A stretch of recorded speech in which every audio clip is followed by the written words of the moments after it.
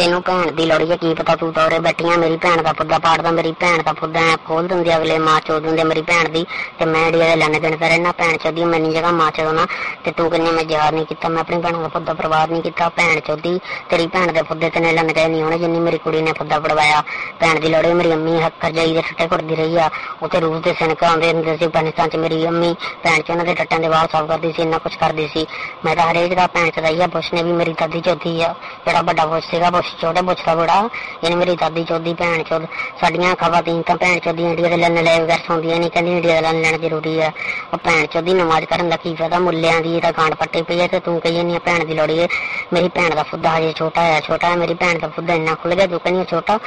ਤੇਰੀ ਮਾਂ ਦੀ ਲੰਨ ਸਾਲੀ ਖਸਤੀ ਭੈਣ ਚੋਦੀ, ਭੈਣ ਦੀ ਲੋੜੀ ਹੈ ਪਾਕਿਸਤਾਨ ਦੇ ਮੁੱਲੇ ਲੱਲੇ ਚੁੰਗਦੇ ਨੇ ਪਾਕਿਸਤਾਨ ਦਾ ਜੂਤ ਆਪਣੇ